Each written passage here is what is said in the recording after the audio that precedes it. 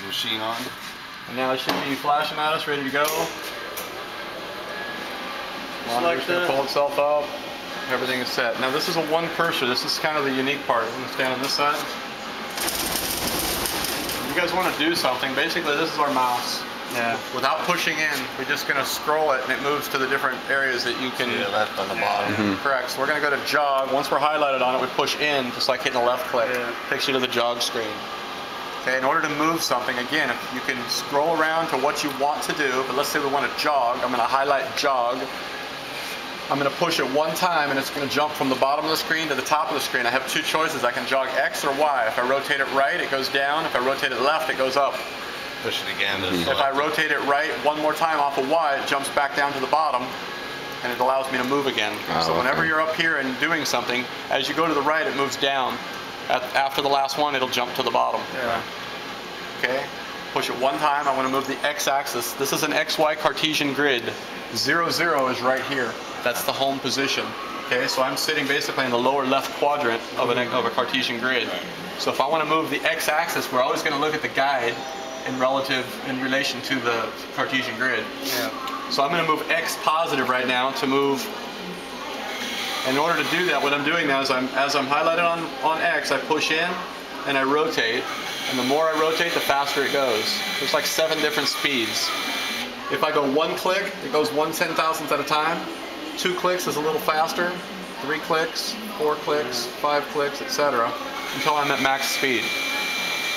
When I'm done moving, I just simply let go. If I want to go to the y-axis, I rotate it to the y. Again, I push in if I want to go minus or plus. Push in, rotate this way. It should move the guides that way. Okay. A lot of guys, what they do is they put a plus and a minus over here, so don't get confused. Clockwise count. And this will move a little faster once it gets lubed. Okay, there's plus, there's minus. So the drives are working, no problem at all. If anybody needs to uh, thread a wire and whatnot through here, you know, it's pretty elementary what it's doing. In order to take up the slack, we just push in on the wire speed at any time, and it'll run the wire for us. Depending on how much wire tension we have, the wire tension is a magnetic brake through this wheel. Mm-hmm. The higher I turn this, the more of a drag it has here, and these these steel wheels are what actually is pulling everything through. This pinch wheel down here, Yeah. that's what's pulling.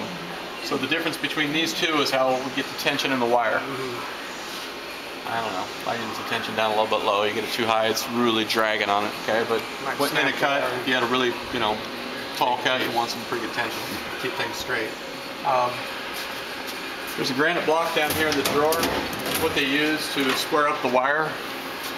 You guys don't need to do that, but if you guys have to do the install on this thing, there's the metal tab. And this would come over here and set in the corner, like so.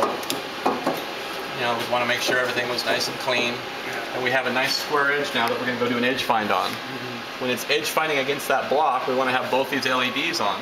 Okay, and that tells you that things are square. If they're not, there's adjustment up here in this upper guide Yeah, yeah. through that set screw and this side set screw. You have to loosen up the, the, the, the plate just enough to where you can move the tensioner in or out.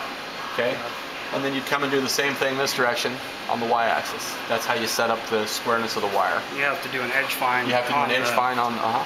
Correct. So what I do is I set the wire speed up really low. I set the tension up fairly high, five or higher. You do an edge find into the block on either direction. That's how you set it up. And again, you just loosen these three bolts. There's a set screw there and a set screw there. They didn't make it easy on you. There's not one on the backside. Yeah. So you got to kind of get a metal or a wood stick or something, to kind of pull it where you want it to be. There are springs in there, but mm-hmm. trust me, they're not enough to make that thing float. And of course, as the looser you get that, the more you're going to get this, and that's Yeah. going to change your adjustment. It's very finesse. Yeah. Okay.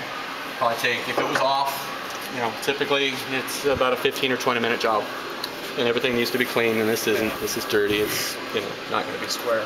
These old keyboards mean nothing to this machine. These were early style phone jack ones. The you used to phone plug jack, into the front of the yeah. monitor. Those are probably worth some money to somebody because you can't find those anymore. Really? I mean, With old computers. Exactly. I don't know that if the computers that those would go in are still running these days, though. Okay, so again, to move the screen, to navigate the screen, it's just simply point and click. Okay, if I wanted to do an edge find, I'm going to highlight edge find, push the button, it moves me to the top. I want to do X or Y. Let's say I wanted to do X.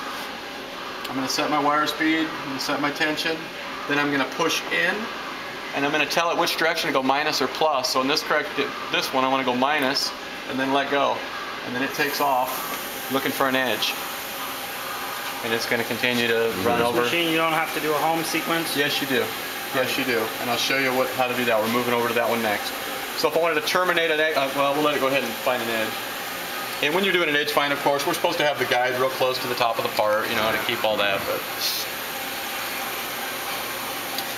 one of the things on this machine, these guides are uh, the flush nozzles are, you know, they're threaded. If that flush nozzle is screwed up and I'm doing an edge find and it runs into the part, you're going to break something. You're going to shove that arm out. Something's going to happen. So I've got it screwed all the way down right now, so there's clearance between the flush nozzle and the bottom of the, the riser here. Oh, okay. But that is a definite on this machine. If it's screwed up for some reason, somebody had it up tied up into a part, they forgot, it vibrated up, it runs into something. It. It's, it's gonna the- move. It's gonna move whole- this arm. I had the whole thing apart already because I couldn't get the wire. Was the one that threaded the wire. They were all the nozzles were all clogged. And then, then of course you saw when you had this apart, these four screws right here will reveal Yeah. the carbide contactor, and then the bottom the diamond guide. That's a cone. Correct. And the same thing on the bottom. Those are supposed to be rotated periodically to get all the life out of the contactor. Uh, I'm telling you stuff like you guys are going to own the machine, just, Right. just just so you know, okay? This is the only way I know how to explain it. oh, we're always here to learn. Okay, if you want to abort an edge find now, now that it says edge is found, I push in on the input knob. I scroll down to zero set. I could zero it out if I'd like to by pushing in.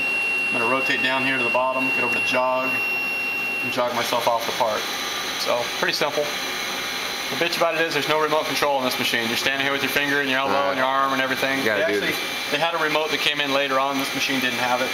The software, the software says remote on or off. That means nothing. It's just a later version software. They upgraded for a machine that had it, but it runs all the machines. So it says remote off, and that's because there's no remote. Um, hole center. If somebody wanted to do a hole center, it's the same as an edge find. Put it over the hole, thread the wire, hit the button, tell it which way to go. Yeah. Okay, and it runs out, finds the center, and, and then tells you it's done. Home. I can home the X and the Y, or I can home just X or just Y.